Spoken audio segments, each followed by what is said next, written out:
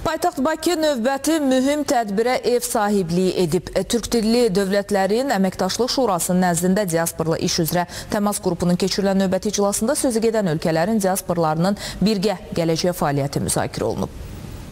Türk dilli diasporun fəaliyyəti o zaman uğurlu ola bilər ki, biz Türk dünyasında birliyə nail ola bilək. Bu fikri diasporla iş üzrə Dövlət Komitəsində keçirilən Türk dilli dövlətlərin əməkdaşlıq şurasının nəzdində diasporla iş üzrə təmas qrupunun 5-ci iclasında komitə sədri Fuad Muradov bildirdi. Komitə sədri şuranın toplantılarında Dağlıq Qarabağ münaqişəsinin də müzakirə mövzusu olmasına diqqət çəkdi. Biz Türkiyədə olduq və çox yüksək səviyyədə Azərbaycanın dostu, Azərbaycanın qardaş ölkəsində çox möhtəşəm bir bizim digər qardaş ölkələrlə çox möhtəşəm bir tədbir keçirilir. Toplantılarda dəfələrlə Ermənistan-Azərbaycan Dağlıq Qarabağ münaqişəsinin tezliklə Azərbaycan Respublikası suverenliyi, ərazi bütövlüyü və beynəlxalq sərhədlərin toxunulmazlıq prinsipi əsasında həllinə, həllinin vacibliyi vurğulanmışdır.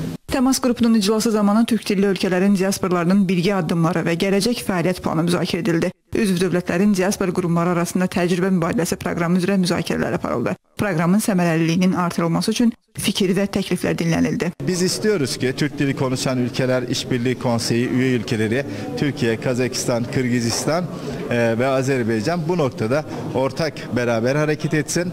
Ortak kültürümüze ait, ortak e, geleneklerimize dayanan e, programlarda e, e, kültürel e, etkinliklerde bir araya gelsinler ve ülkelerimize karşı yönelen herhangi bir olumsuz etkide ise bir araya gelsinler ve ülkelerimizi en iyi bir şekilde oralarda dünyanın dört bir tarafında temsil etsinler. Türk dili konuşan ülkeler olarak Türkiye, Azerbaycan, Kazakistan ve Kırgızistan dünyada dört bir taraftaki diasporasıyla birlikte bu diaspora gücünü birlikte nasıl daha yönlendirebilirizin e, altyapısını hazırlayacağız inşallah.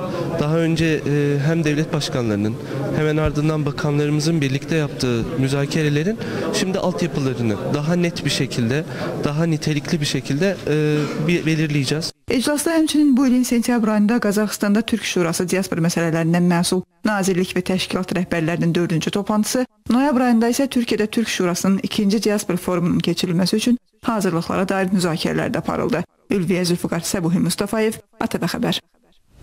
Fransada qondarma erməni soyqırımının anım gününün elan edilməsi ədalətsiz qərardır. Türkiyənin Azərbaycandakı səfiri Ərkan Özaral Fransanın özü tərəfindən Afrika ölkələrində soyqırımlar törədildiyini bildirir. Tamamen iç politika sahikleriyle alınmış ve son derece haksız, son derece yanlış bir karar. Bu karar elbette ki Türkiye ile Fransa arasındaki ilişkilerin e, devamı devamı konusunda bazı sıkıntılar yaratacak mutlaka sonuçları olacak. Bununla ilgili değerlendirmeler yapılıyor e, ve tabii ki Fransa'ya bu konuda gereken karşılık verilecek.